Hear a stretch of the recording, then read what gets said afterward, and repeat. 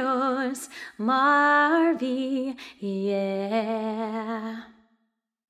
One happy birthday dot com.